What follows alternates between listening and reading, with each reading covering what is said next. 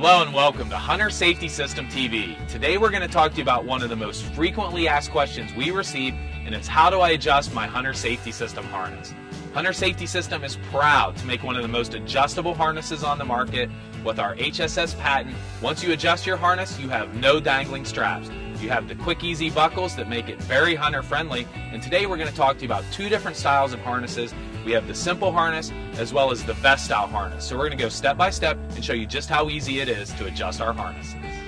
As we mentioned, Hunter Safety System has two different styles of harnesses. You see me wearing a simple harness, which is called the Flex, and the other harness we're going to show you is the Vest style, which is the Elite.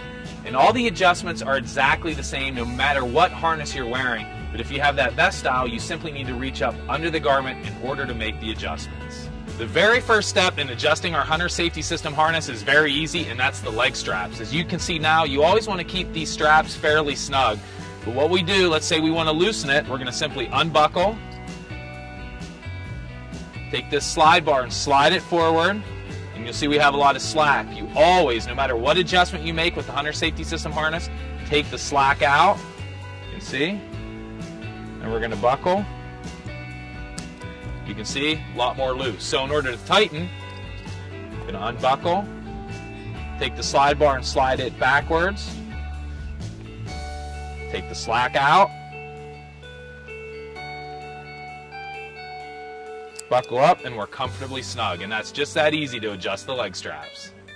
Now that we've adjusted the leg straps, we have one more adjustment to do, and that's the waist strap. If it's going to be a slight adjustment, you can simply do that while you're wearing the harness. About the middle of your back, you're going to have the waist strap, and there's a slide bar. In order to tighten it, you're going to move it to the right. To loosen it, you're going to move it to the left.